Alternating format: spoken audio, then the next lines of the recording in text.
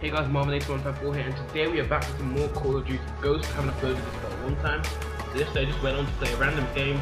I don't play much multiplayer on Call of Duty Ghosts, but I got an amazing 4-piece that absolutely wrecked their team for much higher ranks than me.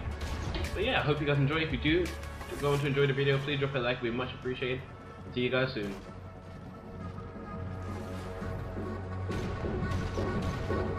Let me